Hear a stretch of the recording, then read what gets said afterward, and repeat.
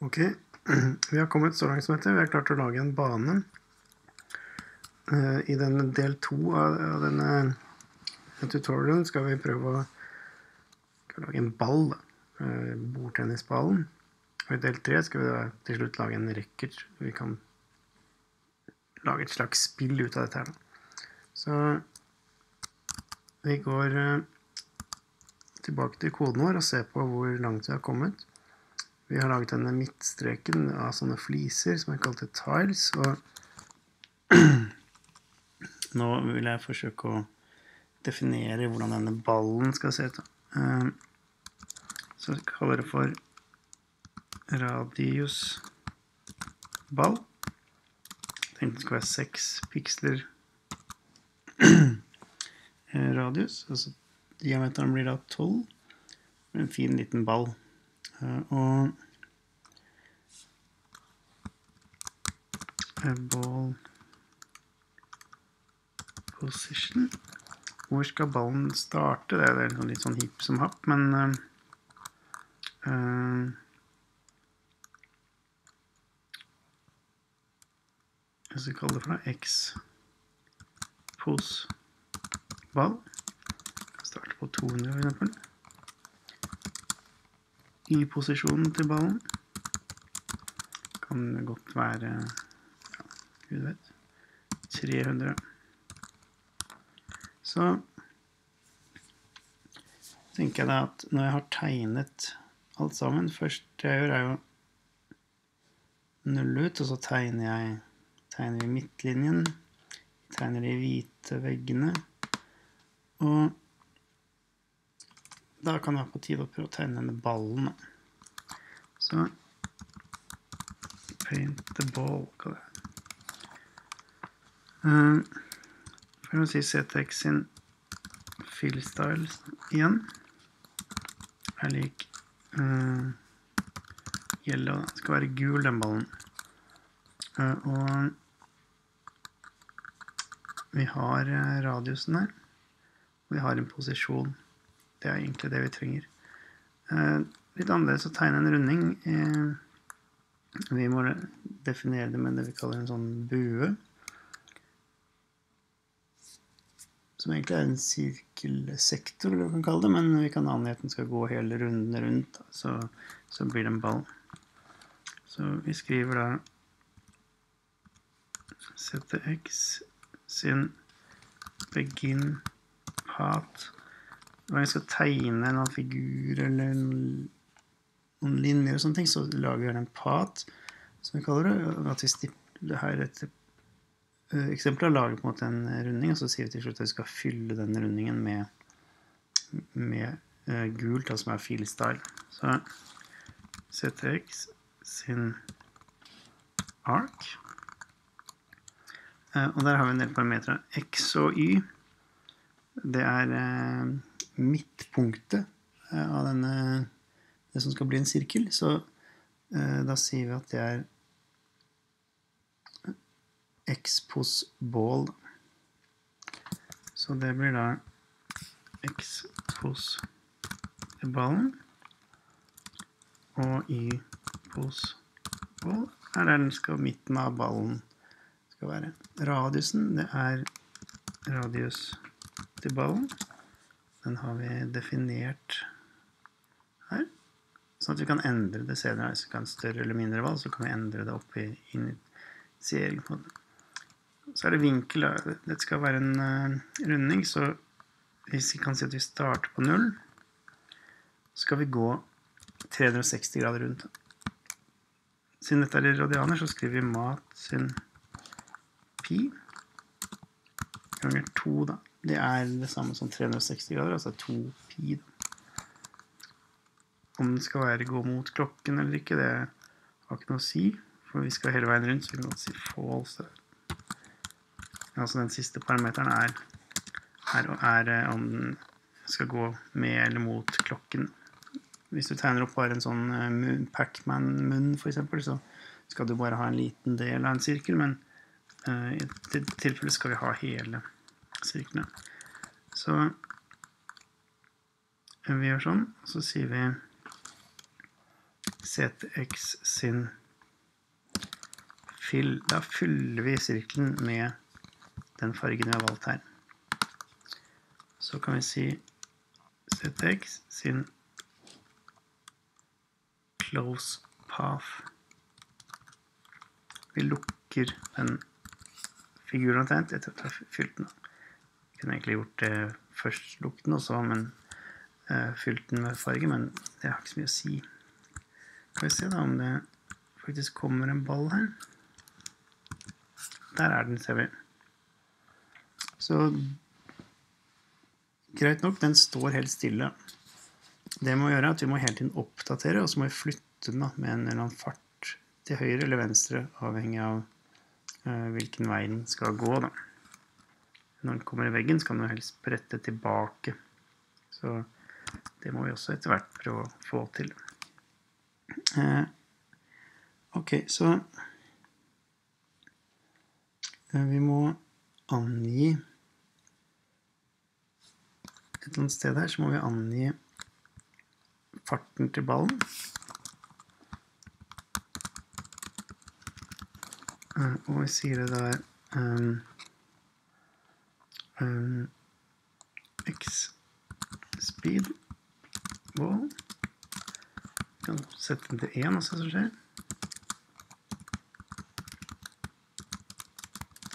Til 1 da.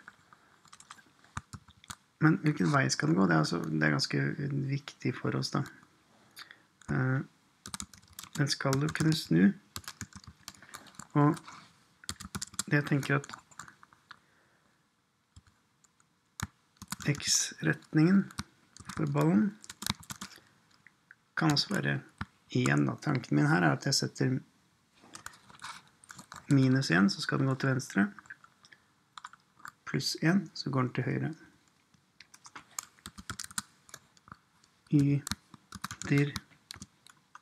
Ball. Så sette til 1. Men den vil også da om den går nedover, så setter jeg den til 1. Går den oppover, så setter jeg den til minus 1. Vi skal se snart hvordan det fungerer. Det siste jeg trenger, da, er kanskje sånn Jeg har lyst til å regulere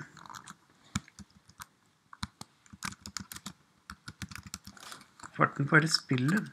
Uh, og da kan jeg lage meg en game speed.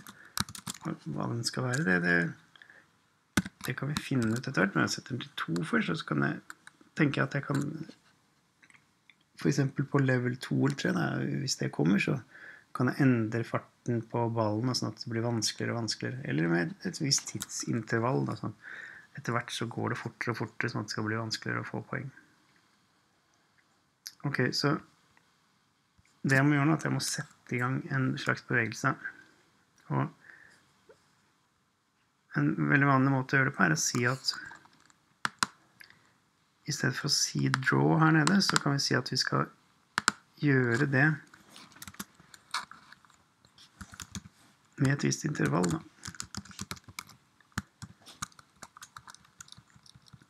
Vi sier at vi skal sette intervall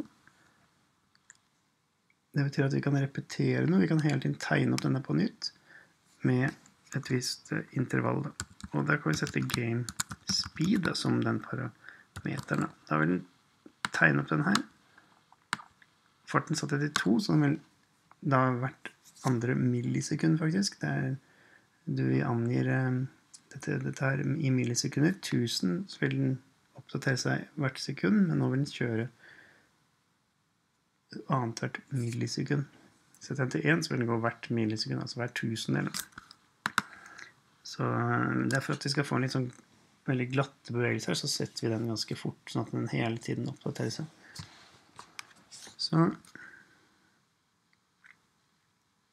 øh, Hvordan gjør vi det? Det, det, vi tegner jo opp ballen her. Så sier vi at X-posisjonen til ballen og Y-posisjonen til ballen. Vi har radiusen, osv. Det skal ikke endre seg, men disse posisjonene må, må endre seg hele tiden. Og det vi kan prøve på nå, er å si at når alt er ferdig her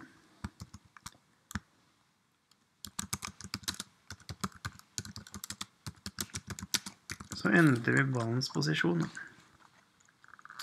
Vi sier at uh, x pos ball er lik x pos ball, altså det den er fra før av. Så plusser vi på uh, x speed ball. Og så kommer det interessante, for vi kan gange det med retningen. Altså hvis retningen er pluss 1, så vil den øke, og så vil ballen gå til høyre. Hvis den er minus 1, så vil ballen gå til venstre. Så dermed kan vi si at vi ganger den med x blir ball. Det samme gjør vi med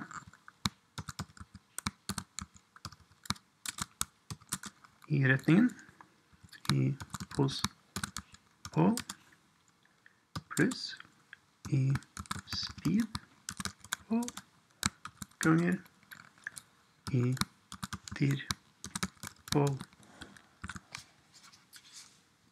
Den vil gå nedover når y-dir-ball er 1. Mens i gang med minus 1 så vil den gå akkurat like fort bare den andre veien. Vi har sagt i utgangspunktet her at y-dirbål og x-dirbål er like 1, så den vil da gå til høyre og nedover en viss fart. Ok, skal vi se. Ja, se det, det, var ikke så lenge vi fikk se ting. Den går fort ned og blir borte. Det vi må gjøre etter hvert er å sjekke om den treffer veggen her. Men vi kan gjøre et eksperiment og se om vi får den til å gå oppover, for eksempel. Det kan vi nå endre ved å si y-dirball er lik minus 1. Skriver det, så ser vi. Da går den veien. Hva med retningen x? Setter minus 1 på den. Så går den den veien. Ok, vi må sjekke da, hvis vi skal prøve først et eksempel om det vi må gjøre, er at når den treffer veggen her, så må den sprette tilbake, altså må vi, i det den treffer veggen, så må vi endre x-dir,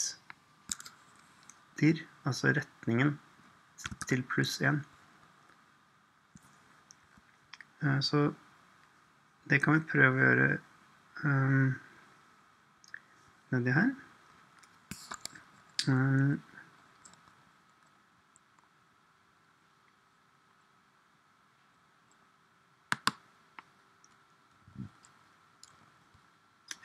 ikke så farlig akkurat overreglene. Vi kan prøve å si at if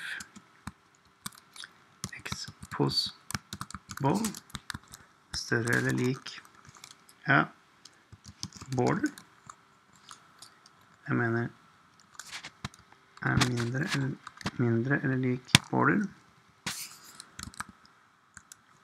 Det betyr at eksposisjonen har kommet seg bort hit. Men vi må egentlig plusse på halvparten av ballen. Fordi ballen har, det er sentrum av ballen vi setter. Så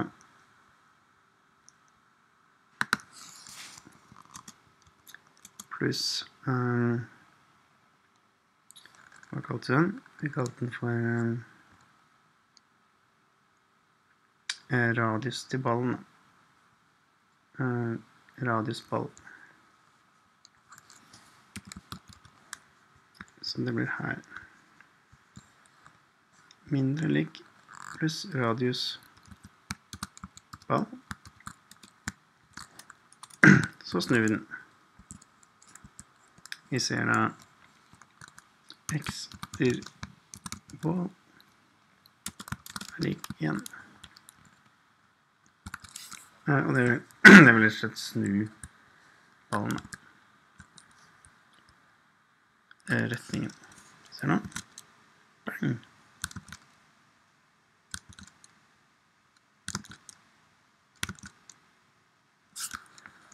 Eh, Like fullt så kan vi prøve her oppe.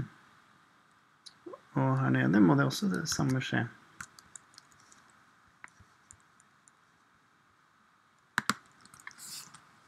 Sjekker toppen.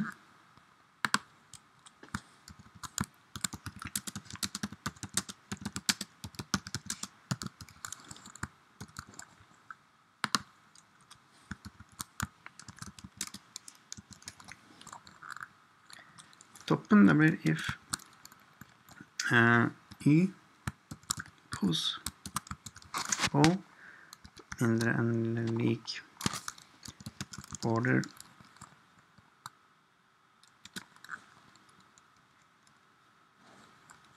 Pluss radius. Ball. Så snur vi den.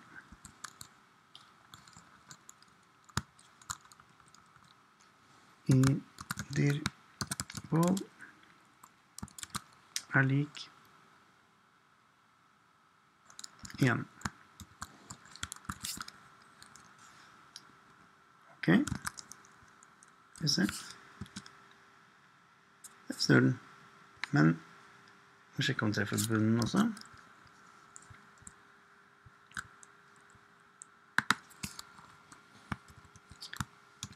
Bottom.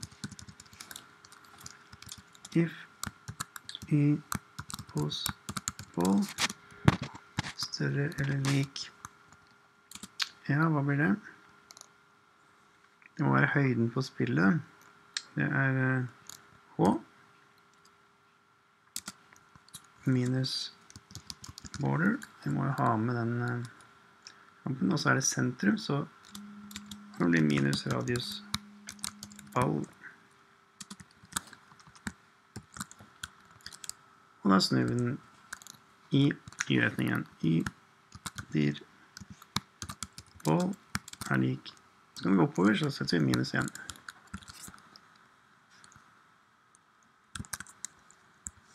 Ok. Hva skjer nå? Der satt den.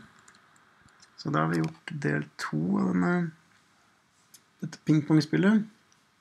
Vi skal til siste del skal vi prøve å fikse og lage racketen. Så man kan slå ballen frem og tilbake. Se hvordan det går.